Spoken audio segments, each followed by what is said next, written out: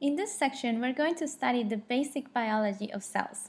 Cells are the basic unit of life, with a single cell being capable of performing all the tasks necessary to stay alive.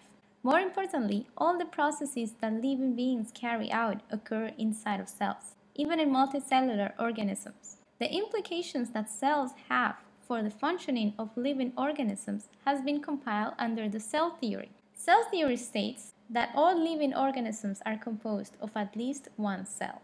Cells are the basic unit of life and they are the smallest living things. And finally, cells can only arise by the division of another cell. A cell comes from another cell.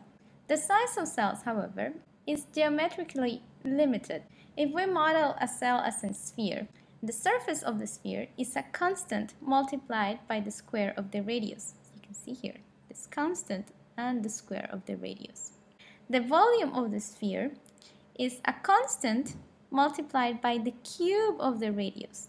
That means that when the radius increases, the volume of the sphere increases faster than its surface. So for example, here, if we think that the small cell we assume has a radius of 1 unit and the large cell has a radius of 10 units, the surface area of the small cell and then the surface area of the large cell will be 100 times that of the small cell. When we compare the volume of the small cell to the volume of the large cell, the large cell has a volume that is a thousand times larger than the volume of the small cell.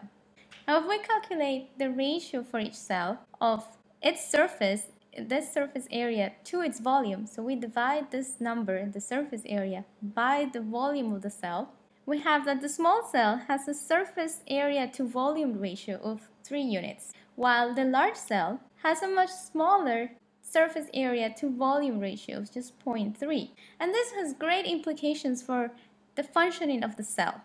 As cells get larger and the surface area to volume ratio decreases, the efficiency of the cell is reduced. And this is because cells perform most of their activities through their surface, through the cell membrane. They need to uptake nutrients from the environment, they need to remove waste, they need to communicate with other cells or communicate with the external environment, and they do all these things through their cellular membrane. So if they reduce their surface area to volume as they get larger, substances will have to travel longer distances to either enter the cell from the outside environment or exit wastes and waste that need to exit the cell will have to travel longer distance before they can exit the cell. And this will reduce the efficiency of the cell and will also cost the cell more energy.